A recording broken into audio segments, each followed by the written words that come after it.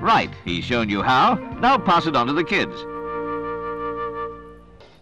At the 22nd annual boat show in London's Earl's Court, some take the plunge literally.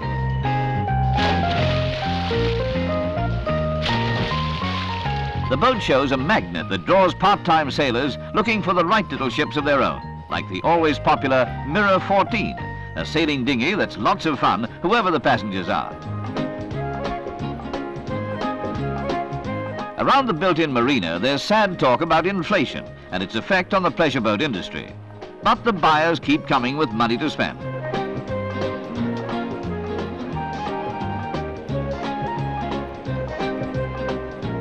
Timely easing of credit restrictions, however, has helped boat builders in a year of financial gloom.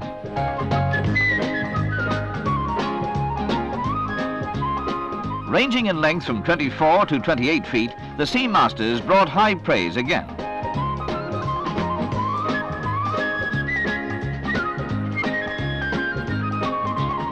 Back again with improvements, the boat that caused such a sensation at last year's show, the Dragon. Another home product doing nicely, the Pentland. British boat sales have done well at the show this year, but foreign boat builders have found selling in an unsympathetic financial climate heavy going. The fringe industries come up with some pleasant surprises. A quiet, relaxing holiday idea on a canal boat.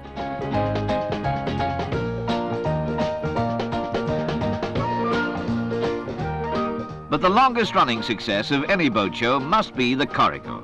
It's built entirely of interlaced struts and animal skins, not a single nail or screw. And when you've bought one, you can even pick it up and carry it all the way home.